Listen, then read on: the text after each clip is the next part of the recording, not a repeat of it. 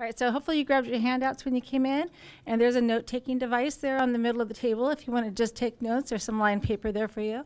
We'll ask questions throughout the evening, so if you want to jot questions down as they come, and we'll try to pause, and we'll do our very best to answer those along the way. Okay? All right, so tonight we're really going to just take a minute and just look at math class, how it might look just a little different, and a little bit about the standards we're going to look about what does math look like in school. So we're going to take you through a little K-5 lens, take you through some middle school, high school, and then Becky's going to take you through some Khan Academy as well. And then we want to just think about how we can help at home. As parents, we just want to think, how is it that we can best help our students at home? And then with Khan, a little bit we might need to learn a little bit of math about the math along the way. I don't know about you guys, but sometimes after elementary, it might change up a little bit. So Khan's a nice, nice place to go. All right, so you're going to have all those options tonight. All right, so in the math office, this was the math vision we have for all students in Long Beach. We want every student to be a confident and flexible mathematical thinker, communicator, and problem solver that vision we have is in line with our college and career readiness plan, the graduate profile for all students K-12 to be prepared and ready for the, the working world once they graduate from high school and on to college and beyond. Okay, so we are, our vision is right along, you know, in lines with what we have in the district. Keep in mind when you think about that vision, one of the big new words in there is flexible. Okay, really allowing our students to have that flexibility in their thinking. All right, so when I think about the Common Core, there are some definite shifts in math teaching and learning. So the shifts in math, the first one is focus. So in our new standards, we have fewer standards in each grade. We have fewer standards with the intention to go deeper. So we have more of an understanding of the math. In the past standards, we would have had multiple standards, quite a few more in, our, in per grade. But now there's fewer with the intent to go deeper with more understanding. The next shift is coherence. And coherence connects the math across the grades. So they build those foundational knowledge in math in our K2. We began to build that with a little bit more application in 3-5. So they're prepared to do the work in middle and high school and beyond. So again, it's that progressive lens across the grades. And we have rigor. So I don't mean rigor in that this is hard, but rigor mean that there is a balance to that instruction. Remember that being flexible? We want to make sure that the students not just know the math, but they truly understand the concepts that they're learning. Yes, that they can do those procedures and do them fluently, but they can really then apply the math to the real world. So it's not just about math in the classroom, but do they see the math outside of the classroom? Do they begin to make connections to the math that we even see it as adults? So those are those main shifts in the Common Core standards for mathematics. And those link to that math vision that I just shared with you. So hand in hand with that, we have standards for mathematical practice. Now, the beauty of these standards are these are the habits of mind of a mathematician. These are the practices that our students are showing daily their understanding of the math. So there are eight standards for mathematical practice. They are the same practices for a kindergartner as they are for a 12th grader, an AP calculus student. They are the same practices. We want our five-year-olds to be able to make sense of problems and persevere in solving them. just like we want to have our middle schoolers doing the same and our high school kids doing the same. Mathematical practice three, we want them to be able to reason, to be thinkers, to be able to defend their answer and defend their thinking, and then critique the reasoning of somebody else and be able to defend why. We want them to model with the mathematics. Again, that's that practice where we want to connect the math beyond and make it connect to the real world and have purpose to truly understand what they're learning beyond just the book that they did.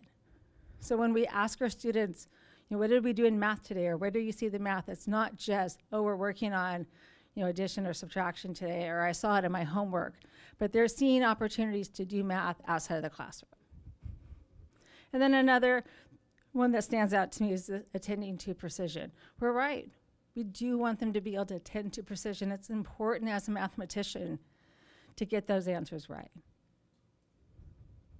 So those practices, again, those are the habits of mind of a mathematician. These are the eight standards for mathematical practice for all students K-12.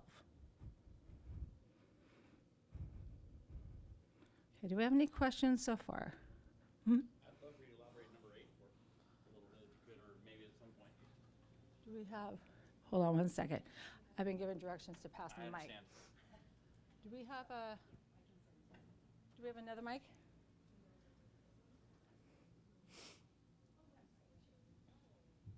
I'm sorry, I was answering a question here. Where am I going? Can you do me a favor? Can you hand the mic to Becky real quick? Okay, go ahead and ask it. I was just looking for a little more uh, explanation on number eight uh, at this point or at some point. Okay. So we're, go ahead. you want to add on to this one, or do you want me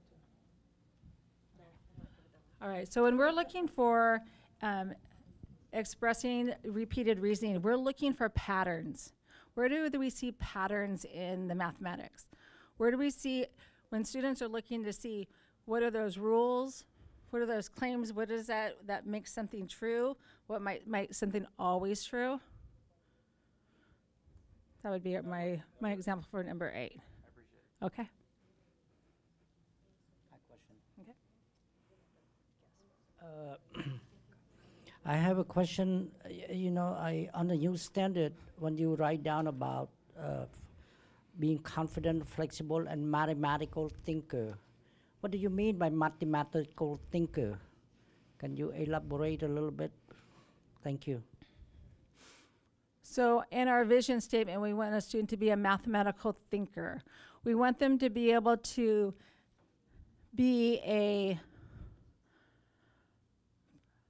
a person who can look at a problem, be able to have multiple entry points to a problem, be able to pull in all prior knowledge, to be able to apply that to whether it's a number sense problem, whether it's a word problem, whether it's a drawing, and be able to have bring in all of their knowledge towards being able to solve that problem. So not just a direct procedural problem, be a, but be able to be that thinker that we want them to be, to be able to apply what they know to any context of a problem.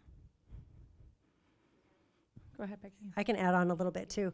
Um, sometimes there's math uh, presented in the news or in advertisements, and we want students to be able to make sense of, of an argument that's based on a graph or some data. Um, and so we, our job in schools is to equip them with the skills to think deeply about what's being presented to them and make sense of it, understand it, and, and question those things. So that's part of what, also what we mean about mathematical thinker.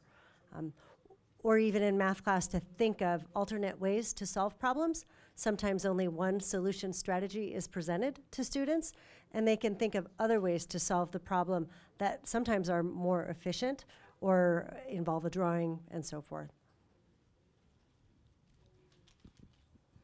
My question to you is based on mathematical thinker is uh, what how you relate to rational thinker, because mathematics deal, deal with a lot of rationality more than anything else. You know, you're looking at logic, you're looking at reasoning, and I I I'm just uh, because if you use a mathematical thinker, I think we need to elaborate how you like my you know, my son, he's uh, he mathematical, he's a rational, you know, to, towards a rational being or thinking, or the emotional being, you know. Uh, we, we look at the problem, everything we look, you know.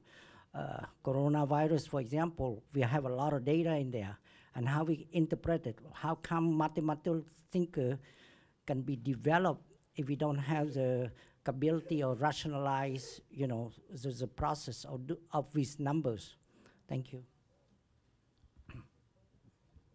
All right. One more. One more. How much are students encouraged to have like realia, tangible things or manipulatives incorporated in at any grade level using utilizing these type of practices?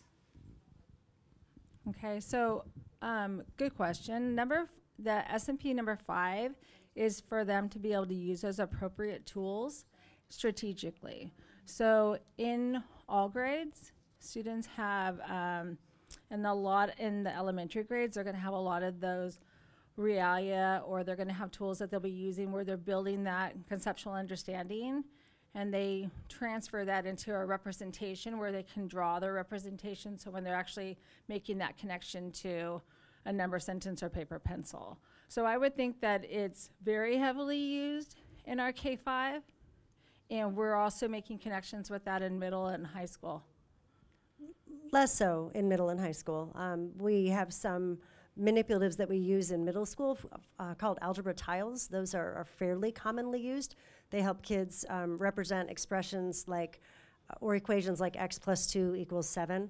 And they would remove 2 from each side to find that x is equal to 5 in that case.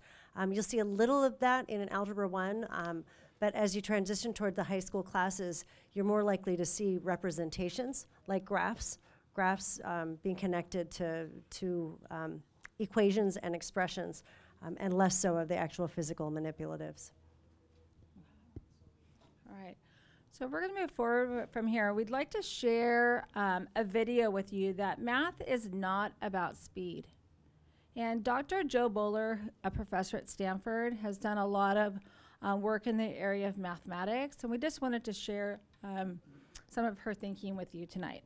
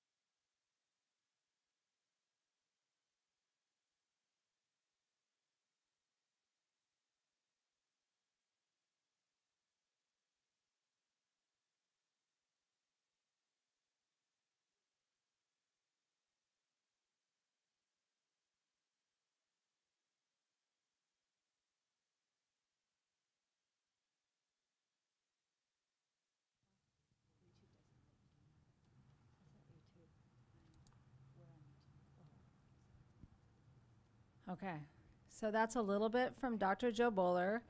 Uh, we have cited um, her work, which is from YouCubed, and that is on the blue paper that you picked up. We've cited several different resources.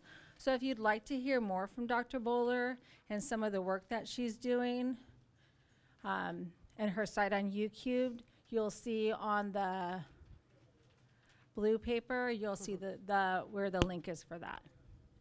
Okay, any thoughts real quick on that math is not about speed? If that's the thought of the district as well, I'm assuming since you showed us that video, what's the reasoning behind, at least for the elementary age, for their testing to be graded based on how fast they finished? So let me just clarify. I think you're asking about the basic math facts. Like the Fo- between four and eight, correct, under seven minutes. Between eight and, well, I don't know the numbers. You know, it's like the, at the bottom of the page. For the basic math facts, okay. So we do have ba- basic math facts in Long Beach um, in elementary school. And since we've had some, with our new standards with the Common Core, we have gone out and we have piloted those math facts and um, with students, and there's been modifications made to the timing of them and to the number of items that they're given. And the reason that we can support still the practice of that is because on a daily basis in an elementary math class, we are practicing mental math. And in that mental math, we're, the, we're practicing those flexible strategies of what is most efficient for the student. So we've practiced that with students to show that they can show how they can recall facts either by memory, which is one strategy, or they can use other efficient strategies, and they can still show that they can do that with some automaticity in a certain time period. So there has been modifications because we heard you as well, and we, we, we noticed that in our students. And so that was in response to that. So it's not just on speed, even though there is a time to it, but it's really been, that time was set by students. They showed us that they could show us their understanding in that amount of time. Good question. Anybody else? Okay, all right, so we're gonna just move forward a little bit from here. And well, let's just take a minute and look about in K, the K five world right now. And let's look and see what does math look like in the classroom. So just in case you haven't gotten into an elementary class in a while, or maybe not in the last month or so, you might see students doing some work on the carpet together, and they might be doing some counting collections. You might be looking to see how many things, items are they counting there, and how are they grouping them and working in partners together. Students might be working and creating big number lines across the board. So taking that manipulative that and making a real life chart where they can plot fractions or whole numbers on a number line, working together as partners, reasoning about their thinking. You might see this set up in a, uh, in a primary classroom where students have multiple opportunities to see numbers in different ways and where they see that patterning happening and where they're seeing days in school and they're seeing tens and 10 frames and in base 10 blocks and making connections to what they know about those numbers and those days of numbers of days in school. Some of you in elementary might be familiar with JiJi. Who's heard of JiJi before? Uh, I've heard, I heard that. I heard that over there. All right. And what we're finding right now, as you can see on the side here, it talks about think before you click. The teachers are encouraging the students to think first. Remember that vision to be a problem solver. When to think first before we problem solve, think first before we act, think first before we click. This teacher is using ST Math for instruction in the classroom, helping kids make a connection. So even though they might have not have a reality in their hand, they're seeing visual images on the screen that they're making connections to. Small group instruction. The teachers are differentiating instruction based on data they've collected on their students, pulling kids in in small group to meet the needs of those individual students. Multiple representations. Students are, this is an example of another counting collection, where the students are showing multiple different ways that they might have counted, the way they counted, their strategy, their representation, that flexible mindset. So that's just a little window into an elementary elementary math. So you have a trifold that you might have picked up on your way in, just real quickly. This is also found on our LBUSD webpage. And if you go to M for Mathematics, it's there as well. But on the back page of it, it really talks about what's in, what's out. So when we think about these Common Core standards, we think what's in, what's out. So what's in is we're building that conceptual understanding with manipulatives. We are not just teaching just steps. Again, we are teaching with understanding. Kids are talking in math. You don't walk by classrooms anymore and it's just quiet and you just hear a teacher. You walk by a math class now in elementary, you have kids in groups and kids are engaged, kids are asking questions, kids are sharing their thinking, kids are adding on, kids are defending. So that silence we might have heard before is out. What's in again is all those multiple strategies. Some of your kids might be coming home and showing you several different ways that they've learned to multiply. It might be different than the way we learned it. Okay, in our new standards, to really show that understanding, there's multiple different ways that we can solve that problem. And we really want to honor that.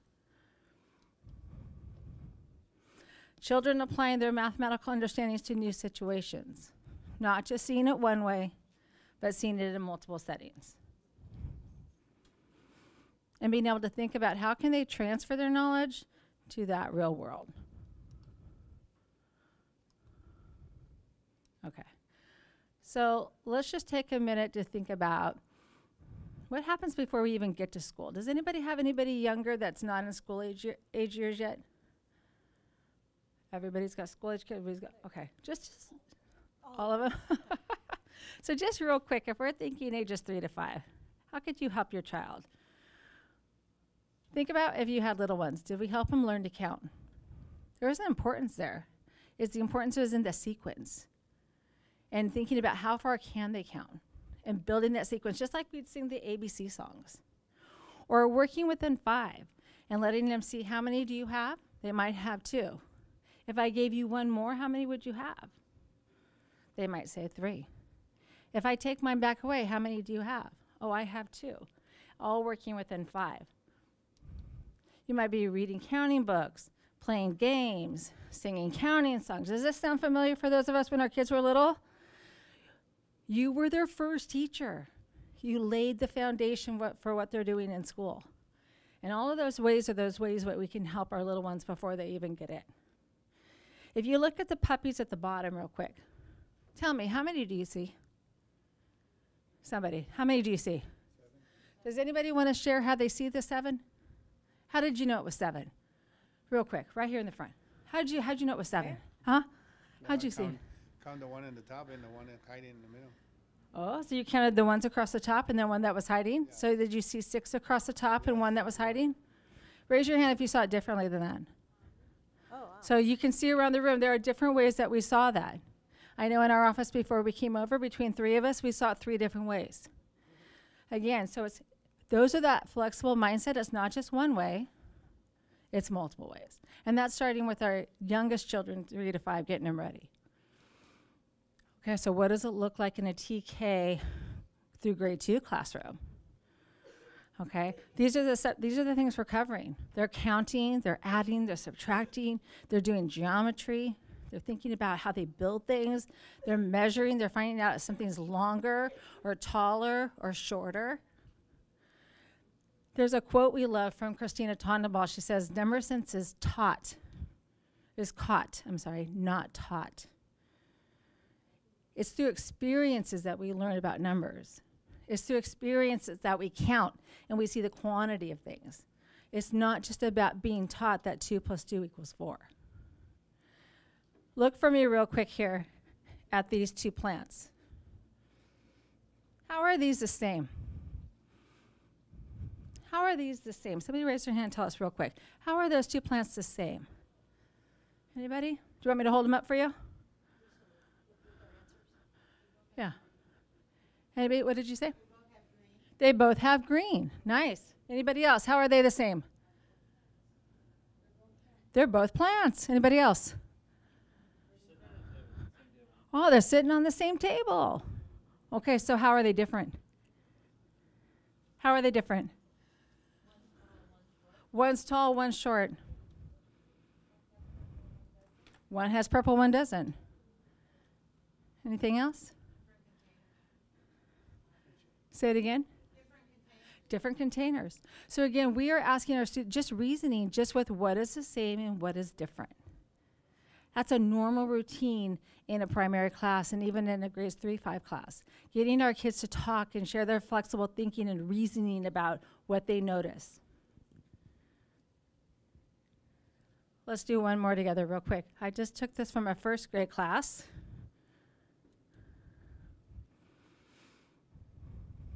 The question was, tell me everything you know about the number 12. What do you notice the students were thinking?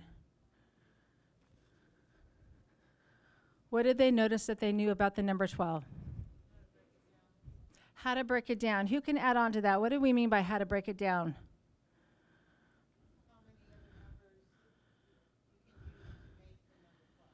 How many other numbers can you use to make the number 12? Who else? What else do we notice that the students did? Hmm? They applied it to real world. Can you tell us more? What do you mean about that?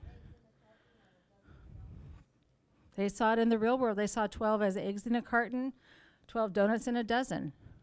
What else do we notice? Anybody else? Are you wondering about anything about what happened in this classroom and what they're sharing? Or is there any strategy up there that you're not sure about? That 10 box thing. Okay, I think we're talking about this. Are we talking about this one? That thing. So this this is called a 10 frame. This is something very commonly used in a classroom. And the kids learn that they start off in kinder with this is five. How many more do they need to make five? When it's all filled, they recognize it as five. Then they see it as a 10 frame. They can tell you when it's all filled up, it's a 10. If there's one missing, they can see that it's nine. In a double 10 frame, they can see it's 10 and some more. How many more? Two more. So that's a normal routine. That, that's a, a strategy that kids would see. The teachers would use those in class. The kids can draw those so they can show their 10. Anything else up in there you're wondering about? Okay. The doubles fact. That is something they will teach them, yes. And the kids come up with that and they use the double sometimes to. Let's look right here on this one. One student saw the 12 as a doubles fact, something they had memorized. Another student could see it's a double, but they like to make a 10. So they could see that in 12, there's a 10 and some more. So they like 5 and 5, and some more was two more, made the 12. So that's another example of a double fact. But that's one that a lot of times our kids feel are very friendly. So that's one that they like to memorize. Okay, so that's a little peek into K2. We're going to take a minute and look at 3 5.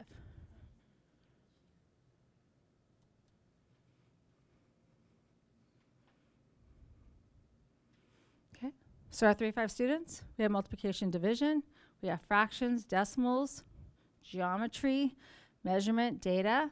Look familiar? Okay. What you're seeing on the screen here is just a progression of the math.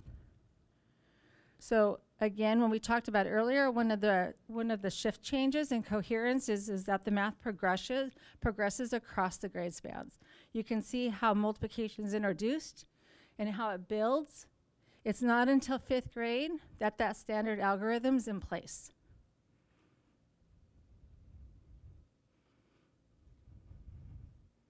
Okay.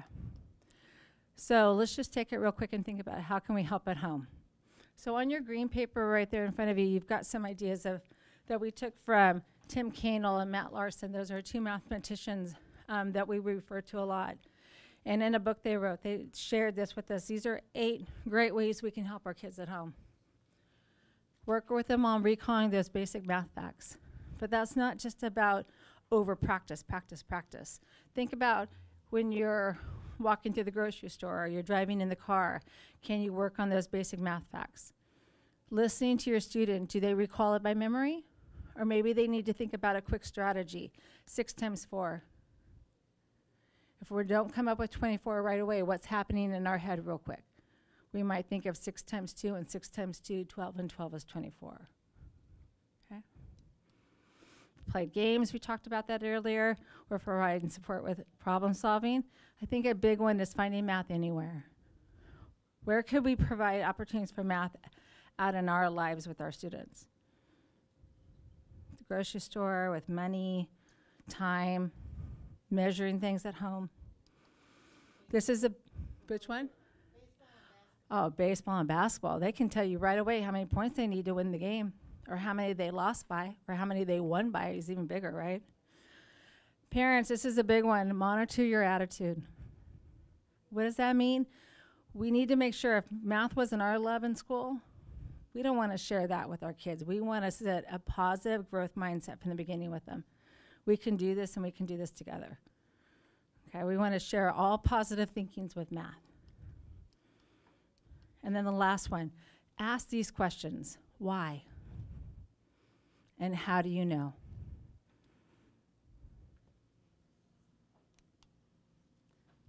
My turn. I don't know if this is working. There we go. My turn. Um, so I'll remind you, my name's Becky Afghani. I'm the secondary math curriculum leader for our district, so I'm Lisa's counterpart. Um, and I'll be talking with you about math in middle school, math in high school, um, and a little bit at the end about how you might be able to help yourself learn the math that your students are learning at any grade level um, if, if you would like to help them do the math. Right, so, oh, I need the clicker. Um, so first I'll talk a little bit about the courses that we have at each of these levels, and then I'll talk a little bit about the math that you'll find at the levels, and then um, how you can support your, your child at home. So we have two common math course sequences in our middle schools. And there's a little picture here. Um, the sequence across the top row and the sequence across that bottom row. Right, the top row of classes are Math 6, Math 7, and Math 8. And each of those courses addresses one grade level of content, right, in a year. Right, so it's a nice, comfortable pace. Um, it is the pace that the authors of the Common Core State Standards intended for students to learn the math in middle school. In our school district, however, we've, we've had a long-standing history of, uh, of having about half of our students complete Algebra 1 in the eighth grade, and that is still true today. In order to make that happen, for sixth and seventh grade, we have compressed the sixth, seventh, and eighth grade content standards into a two year sequence. And those courses are titled Math 6 Accelerated and Math 7 Accelerated. Students who successfully complete that sequence then do take Algebra 1 in the eighth grade. That course is identical to the high school Algebra 1 course. Same book, same tests, everything. It's identical. Um, if, if your student uh, isn't placed into Math 6 Accelerated in the sixth grade, there is another opportunity to move into algebra after Math 7 if the student uh, is getting A's and B's in their math class and meets standards on the um, CAASPP or SBAC assessment that they take at the end of the year. So those are the middle school math courses.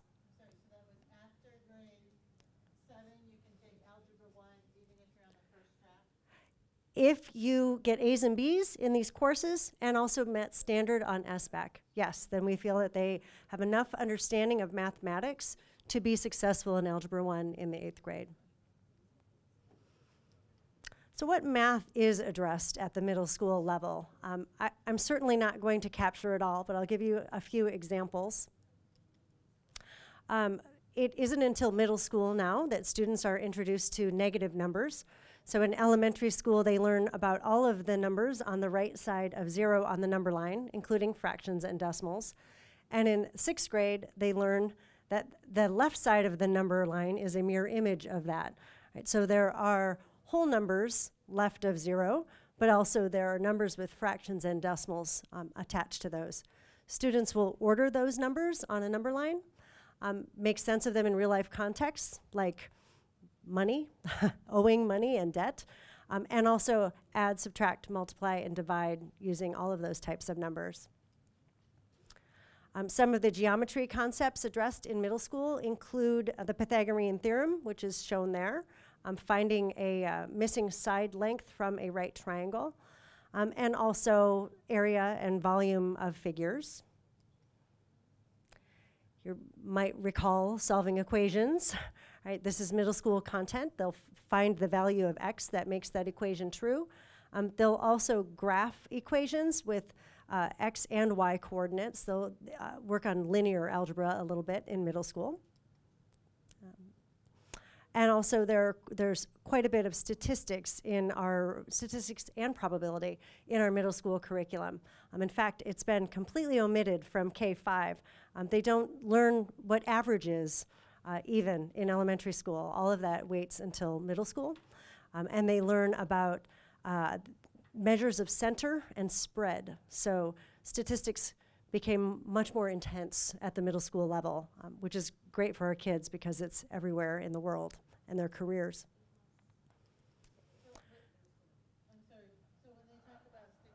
I'll, I'll repeat it. Go ahead. When they talk about statistics and probability, how far into statistics, do- they're not doing like t-tests or So it's uh, so how far into statistics do they go in the middle school? Um, and they're not doing. Did you say t-test? No, they're not doing t-tests. um, so how far? Uh, like I said, measures of center and measures of spread. I would say for the most part, um, bivariate data, if that means anything to you. Yeah, the shape of a curve. Um, whether it's skewed, you might remember the normal curve, and whether it's pushed to one side or pushed to the other. That's all middle school curriculum um, at the end of the year in middle school. So we want to make sure that kids actually get all of the math that the, uh, we des- th- that are they're designed to get. Okay, how can you help at home? So I, I cheated with this first bullet. and. You'll see it on the high school slide as well. All of the earlier suggestions, plus um, support practice at home uh, in any way that you can. It's at middle school, sometimes students begin to feel less confident in the mathematics, and they may struggle more with some of their problem solving. And uh, I would encourage the parents to help your child persevere through the practice. Just keep trying. Um, and not to quit so easily. Y- you see the students playing video games, and when they hit a wall and their character dies, or maybe they're shot to be more appropriate or more timely, th- they get back up and they try again. Um, sometimes our students are learning with math that they just quit. A- and that's not how anyone learns to do anything, is by quitting. Um, I, I heard that Kobe Bryant made something like 3 million shots in his lifetime uh, and made a very small fraction of those. So, helping your child with perseverance would be very helpful. Um, also, make sure that they are able to analyze the errors that they make and learn from them, rather than just getting frustrated by making mistakes. To look to see where where the problem lies, uh, um, and there are a lot of apps out there to help students get right answers. So I want to want you to know as parents that they exist. Um, as teachers, we just sort of shrug our shoulders and, and gave up the fight on that. Um, you can Google practically any math problem and get an answer, right? S- the answers to the odd numbered problems are in the back of your textbook, right? Uh, there's uh, something called photomath. Has anyone seen photomath? Yeah, I got some nods. You literally take a photo of the math problem and it gives you the answer. Right? So math is not about answer getting. Math is about understanding the process to getting the answers. And sometimes the answer can help you with that understanding. Like if you know the answer is 5, you might be able to work backwards to figure out how to get the 5. Right? So as a parent, be aware that the answers are out there, right? Please help your child try to persevere through problem solving and try to figure out how to get the answers. It's about understanding more than it is the answer getting. This is, this is a big one. It's about at the middle school level where many of our parents, in, including myself, um, reach our limit in how much we're able to fully help our students solve the math problems. Right? At, and if it isn't at middle school, it'll be sometime. Like my, my kids took calculus in high school. I don't remember the calculus. You know, so at some point, they'll need to learn to help themselves with mathematics, and you won't be able to help them do all of the math problems. So you can help them by asking them some questions. Do you have some class notes on this math? Do you have any examples in your notebook that you can look at? Um, where is your textbook? On what page, what might you find an example that looks just like this? There is online help available, and I'll talk more about this. The whole end of our presentation is really about Khan Academy. Um, but there is online help available with Khan Academy and Big Ideas. And this was big for my children. Phone a friend. Right, math is something that people do together. It is not meant to be an individual learning experience. We learn from communicating with others and using those math words. So call a friend, talk on the phone. Um, and also, Long Beach Unified School District has a homework helpline service, and the phone number is right here. Um, you, they could, students can call and ask a teacher for help. And in our helpline, um, our homework helpline classroom, the teachers have all of our textbooks to refer to. Um, and there, I know a few high school teachers that, that man the homework helpline. Right. I'm going to move on to high school. So, there are there questions about middle school before I move on? Ooh, a couple. Uh, do you want to use the mic? Okay. How can, how can you, or do you have a suggestion for a particular strategy when it's the behavior or the attitude that gets in the way of learning the math? Uh, I'm going to use the same thing I would use in a classroom. Uh, a broken record. Just keep trying. You you can't. When you stop communicating your message, it means um, it means that you're giving up on on your child and and letting that behavior be okay. So just keep communicating. Like you can do this. Let's keep trying. What have you done? You're going to see another um, another item listed here when I get to the high school slide that says something to the effect of get help, ask for help. Have you asked your teacher for help?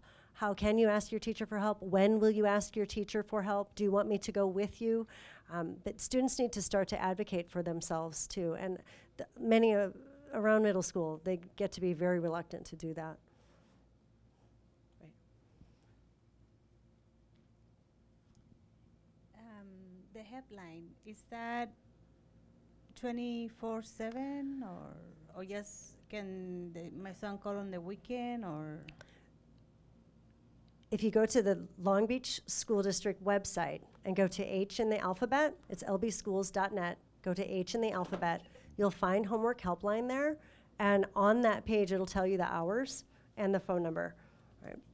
And it, it isn't 24 7. No, they have to pay a teacher to be to answer the telephone. So it's it's after school, and I believe it's just weekdays, but it's on the web page. kudos to my former middle schooler who's now in high school to uh, his, teach- his teacher two main factors that contribute to his success in math he's a visual learner auditory so this teacher made it a point to make full use of school loop she went ahead and uh, um, utilized it to the point where we knew exactly what he was learning so there was that constant communication and she used a lot of visuals. I mean, she's been a teacher for a long time. So I think being in touch with the different learning modalities in the classroom are very important factors that will help sometimes break that disconnect between the home and in the school. So that was two biggest factors in his success as far as reaching his goal of understanding the material. So that's something that I'm encouraging the, the school district to encourage uh, teachers to utilize School Loop to the best of their ability as a big communication uh, connection, I guess, to her parents. Thank you for sharing that. The homework helpline. The homework helpline is open Monday through Thursday, four PM to six thirty PM. Or you can reach helpline teachers at homework at homework@lbschools.net. Thank you so much. Okay, we'll go ahead and move on to high school. Um, we'll start uh, by taking a look at the math courses that students should be taking in high school. And I've, I've opened this with a couple of pieces of things you should know. Uh, one, the Cal State University system in California, I was going to say in the California state, um, requires that students take Algebra 1, Geometry, and, and Algebra 2, and get a C or higher in each of those courses for students to be eligible to even apply, right? And that requirement is identical for the UCs, but since the UCs are so much more competitive, they actually strongly recommend four years of mathematics, so taking another course in addition to um, and after Algebra 2. Our high school graduation requirement is four years of mathematics, right? But unlike the CSU, we don't require specific math courses except for Algebra 1, right? Passing Algebra 1 is a required graduation, is a graduation requirement, um, not the C or higher. But students need to continue taking math classes in Long Beach Unified for the four years to graduate. Right. Common course taking sequences is what I tried to, to show here. Um, commonly, we see students take, this is much like probably what you all took in school, things haven't changed an awful lot, Algebra 1, and then Geometry, and then Algebra 2. After that, we recommend that students make a decision in their next, uh, about their next course based on what they want to do after high school. If they are considering a major or a career in a STEM industry, that's science, technology, engineering, or mathematics, then they really want to take pre-calculus and calculus. Like it, it, the engineering field needs you to take calculus. You can, however, take it in college. So if you only get to pre-calculus, that's fine. Right? You can take it in college. Um, if you're not pursuing a STEM major or career, um, we have a good number of other courses. I wrote many choices here. Um, among them is Intro to Data Science, which is an introductory statistics class, right? And that could be followed by AP Statistics. How far you get in this pathway depends on when you take Algebra 1, right? Which is why we had those differences in the middle school sequence. So if this is in the eighth grade, then this is 9 and 10, 11 and 12, right? If this is in the ninth grade, we're going to get to here, right? Um, the great news um, on both of these is that our universities provide courses just like all of these. So if a student doesn't reach the very ends, right, it's not too late. Right? Um, the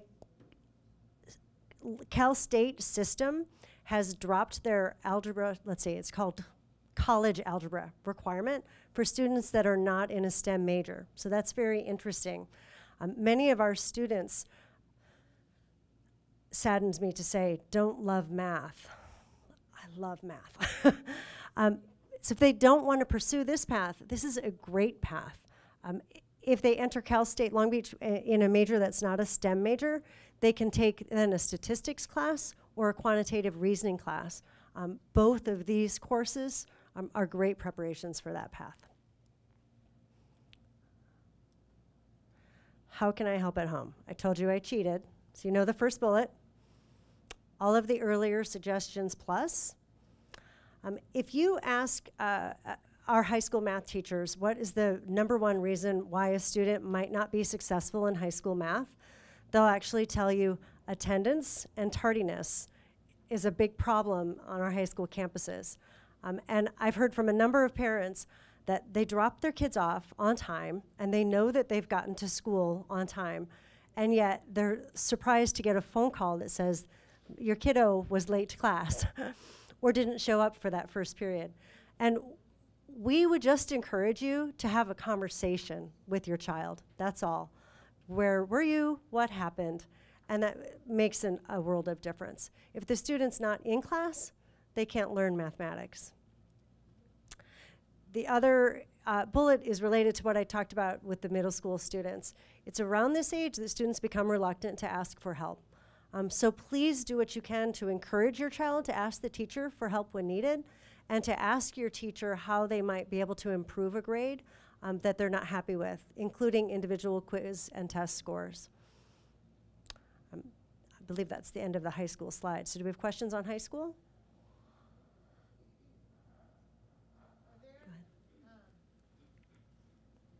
Are there any math-like classes, such as logic um, classes, that would um, teach the same kind of logical concepts, but not actually be using numbers?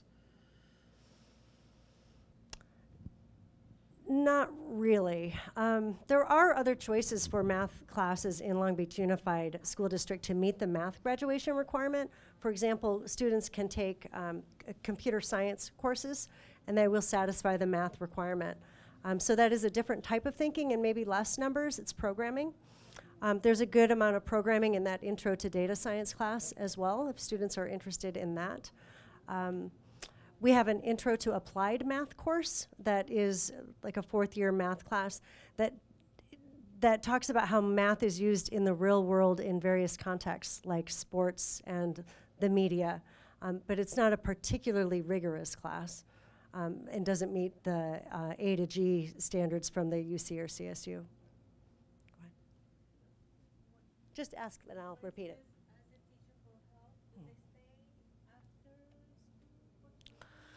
So, how a person, how a student goes about asking the teacher for help was the question. Um, each teacher will have uh, have their own preferences for how they provide help outside of the classroom setting. Um, that's a great question to email to the teacher. Like, do you open your door in the morning um, to offer help, or at lunchtime, or after school? Um, but the vast majority of teachers will have an answer for you to tell you when, when they're available for extra help. It will likely be different for every teacher. I want to add, I want to add, uh, high schools also offer peer tutoring in the library before and after school. Many of our high schools. And you, you can email the teacher about that, or email the school counselor, or even the principal. Or call the office. Oftentimes, the secretary will know when the tutoring hours are. Sometimes um, we should sometimes reflect upon how we were in high school. Sometimes it is a lot to ask for children. Not that they're not mature, but sometimes they might not know what to ask or they don't want to ask because they don't want to seem like they're not smart enough or whatever the, the the situation may be. So I think I have learned to try to model as a parent how to go about getting the information that I'm looking for whether it be an email and how does that look like? A phone call and how does that look like? Mm-hmm. A meeting and how does that look like? Mm-hmm. And if you're going to be there they're only there for a short amount of time because time is of the essence for teachers so i think sometimes it's not always our kids lack of involvement it's sometimes they might not know how to go about it You're absolutely right. You're absolutely right. And um, I didn't mean this to suggest that you shouldn't email the teacher too directly or pick up a phone. I- I just remember when my kids were in school, they were less happy with their mother for doing that. But I did it anyway. You know, you are your child's number one advocate. So if, if don't please don't hesitate to, to go ahead and make that phone call and email the teacher. Okay, we're going to go into our last section. Oh, my clicker has decided to stop working. So I'm going to go over here. Um, we're, we'll talk about ways. Do you want to be the mouse person? Thank you. Um, ways for you to help yourself learn the math. Um, and this could be at any grade level. Uh, the, the way math is being taught uh, today is different from the way it was taught years ago. Um, so you might want to refresh your memory on fractions, right? or maybe it's Algebra 1, or maybe it's Algebra 2. Um, Khan Academy is really a great place for you to go to learn more about the mathematics. And so I'm going to walk you through some basics of how to use Khan Academy um, to help yourself learn math. But please also know that students are often using Khan Academy to help themselves learn math as well. So the website is here. It's www.khanacademy.org. Um, and on the next slide, um, this is a picture of the homepage when you first arrive to Khan Academy as a, as a parent. Students have accounts, um, students have already likely set up accounts uh, if they're in grade six and up in Long Beach Unified. So here on the home page, you'll see on the upper right-hand corner, uh, it, there's a, a place for you to click to sign up for an account. You can go ahead and click. That'll take you to a page that's going to ask you how you would like to join Khan Academy as a learner, as a teacher, or as a parent. So you'll click parent. You can go ahead. You want to go back for a sec? This logo at the very top of the screen is will take you to the home page at all times. So once you've set up your account, you can go ahead and click on the home button at the top, and you'll see um, kind of a welcome screen for you as a parent. And it will ask you to go ahead and connect with your child. So I've, I've done this. That's, that's me in the upper right hand corner. Um, my kids have graduated from high school, and, and I am not going to be helping them with math. So I haven't actually added a child here. But you're going to follow the steps to add your child, and you can monitor their progress in Khan Academy. Um, really cool thing about Khan Academy is they have worked to translate their entire website into 33 different languages. Right? And so I want to point out that if you want to change your own language to a different language, if you click on your name on that upper right hand corner and then click on settings, go ahead you'll get to a page where you can choose your primary language. And in this dropdown, there are 33 languages. Um, they're written in the language um, themselves, so I couldn't recognize most of them. So it- very neat. Um, once you do change your language, you should know that everything in the entire interface changes to that language. Right. If you click on the Khan Academy logo at the top, it'll take you back home. And from here, you might want to look for some math, right, that you would like to learn. Right? The easiest place is to go ahead and search under courses and look at all the courses that they've built in Khan Academy. Um, these are high school math classes. I see Algebra 1, Geometry, Algebra 2, there's more than that. There's even calculus. Um, they've partnered with College Board to provide AP support. Um, these are math by grade level, so all the way from kindergarten through math 8. While I'm here, these are a bunch of science courses like biology, chemistry, physics. Um, these are all of our history, not our, these are all of their uh, history course connections, um, including AP art history. I mean, it isn't just the, the, the the history you normally think of. Um, and very popular in our school district and for high school students is SAT prep. Um, when our students take the PSAT in school and connect their college board account to Khan Academy, it'll actually give them SAT practice that is diagnostic for them, meaning it knows what the kids got right on the PSAT and what they got wrong, and it feeds them content.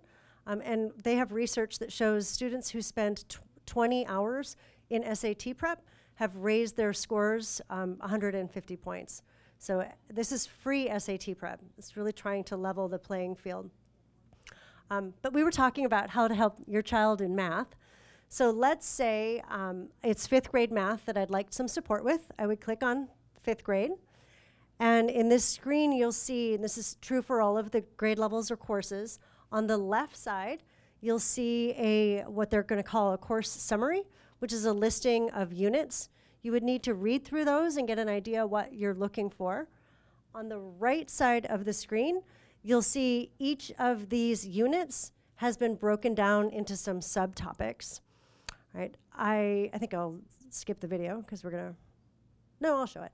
Um, go ahead and click, and let's see what we have.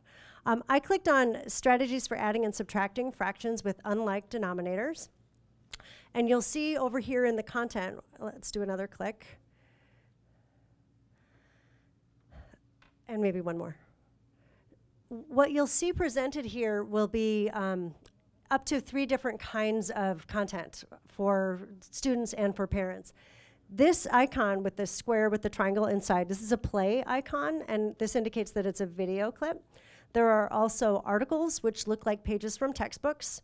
Um, and there are also problem sets, which the kids like to do, because when they get the problems right, it gives them confetti.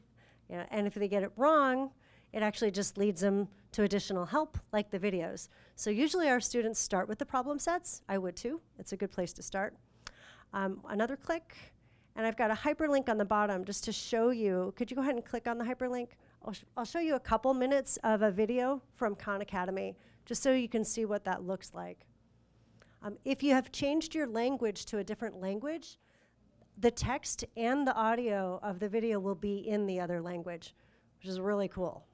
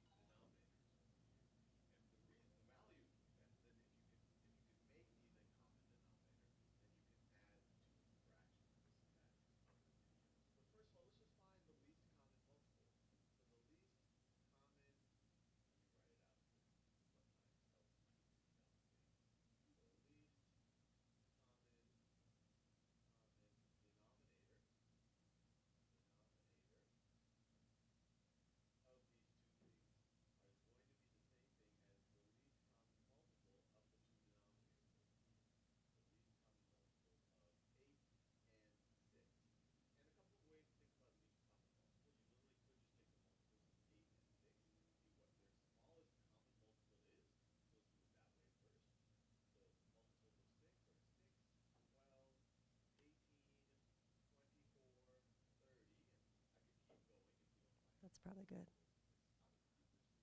If you push the space bar, it'll pause. Um, you can pause these videos, you can back them up um, underneath the closed captioning down here. You can change the closed caption to a different language and keep the audio in English if you want. Um, under the gear, you can change the speed so that it can go faster or it will go slower. Um, but these videos are fairly low tech, right? Audio and a handwritten description. Um, I have searched for help to remember some calculus, and it was very helpful to me. I mean, so the span of what he has, the range of content that he has on this website is really remarkable. We can go to the slideshow. Um, and so finally about Khan Academy, yes, it's a way that you can help your child in math. If you still want to be helping your student get the answers to the math problems, um, you can help yourself learn the math. But really importantly, we would like for students to be learning to use Khan Academy as a tool for helping themselves. Um, and if they can learn that that's a way to help themselves be successful and persevere in problem solving, right, in, say, middle school math, um, by the time they get to high school math, they've internalized it enough that they're seeking help not just with math, but also with other courses um, and becoming more independent learners, um, which is ultimately our goal. I know you like to help your kids with math, but ultimately we really do want them helping themselves. Um, we will all reach a limit for how much math we can help our kids with. Um, they are likely to exceed our mathematical memories. And I believe that takes us to our last slide, which is just a reminder of what these resources are um, that are in front of you. So you have, this is the blue sheet, right, which includes hyperlinks um, to a number of resources, some of which we referred to tonight. Um, this very first one is a whole description from Khan Academy um, of how parents can help their students in math.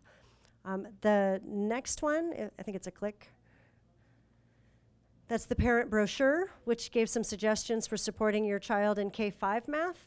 And the last one was that list of eight ways to support your students' uh, math learning at home. And one more click, and we can just end with some more questions. Are there more questions?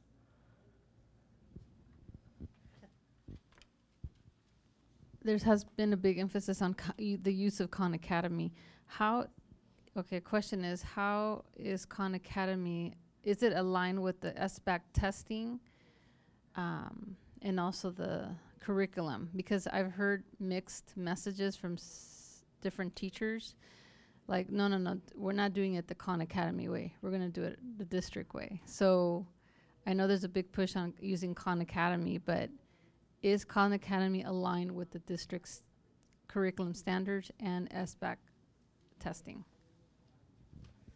One of those questions is easier to answer than the other. So, um, Khan Academy has aligned their content to the to the Common Core state standards, and as such, it's well aligned to the SBAC.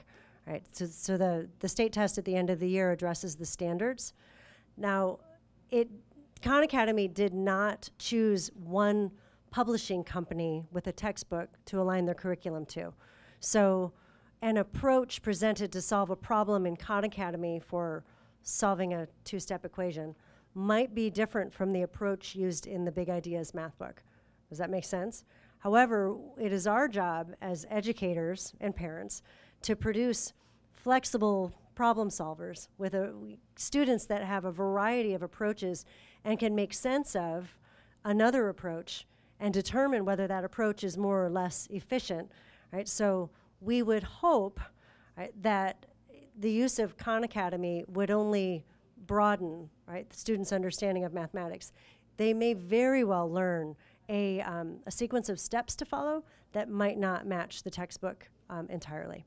Right? But it should be aligned to the state standards just fine.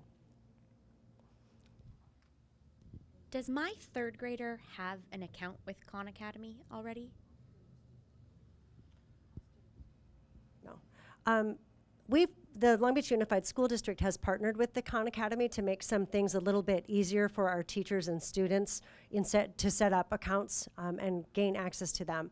So if the teacher has activated their class all right, using our district tools, then your student would already have an account. But at the elementary school level, it's fairly unlikely that teachers are using Khan Academy in class. Um, we we don't tend to use. I mean, it, it's a 6 through 12 platform that our teachers are really far more likely to be using Khan Academy. Um, we have this gorgeous ST math. Um, uh, uh, you saw JiJi the penguin, right? Many of our elementary school teachers are using that online platform to deepen students' understanding of the concepts in K-5 math. And so to also introduce Khan, it, it just has become cumbersome and too many things for our, our, our teachers to juggle.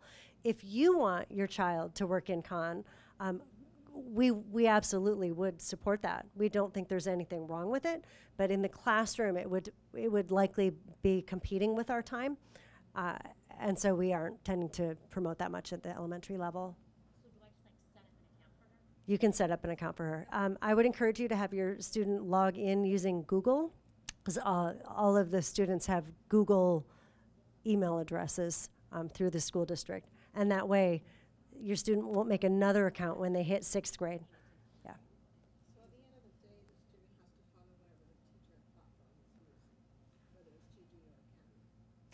So at the end of the day, the student has to follow whatever platform the teacher is using. Um, your, your students will be given assignments from their teachers.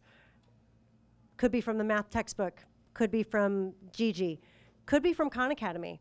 Um, the assignments that the student has been asked to complete outside of school to support the learning that takes place in class would be good if, if the student was doing what the teacher asked.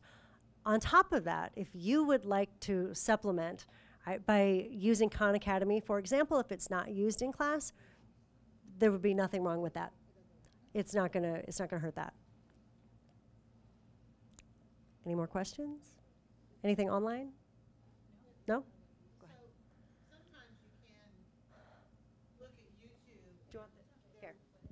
You're going to say more than I want to repeat. That's all right.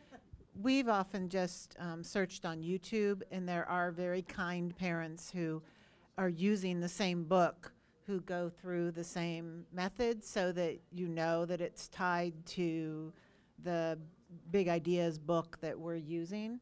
Um, and sometimes hearing it done differently, it's helped us as parents figure out how to show what the teacher is asking them to do. And so just a YouTube search sometimes helps.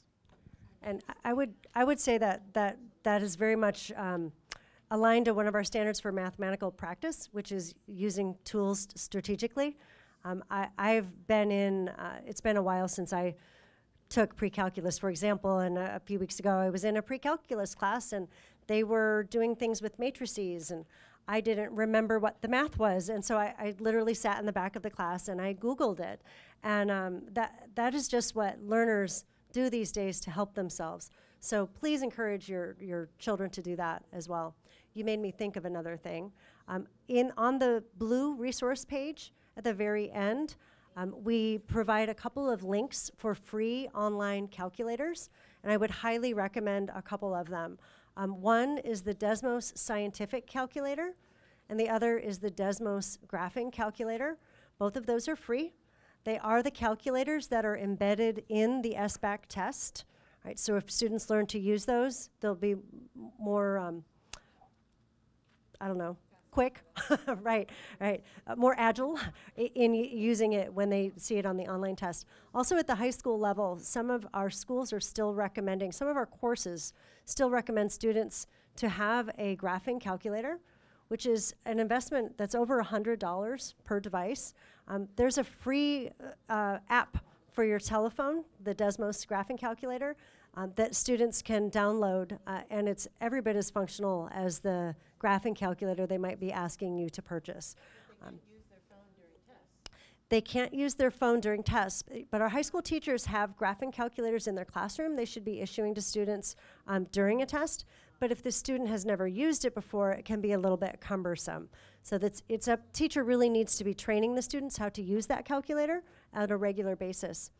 Um, if your student goes on to take AP classes, AP math classes, AP um, calculus or statistics, that Desmos graphing calculator is not allowed on those tests either. And so the graphing calculator might be unavoidable. More questions?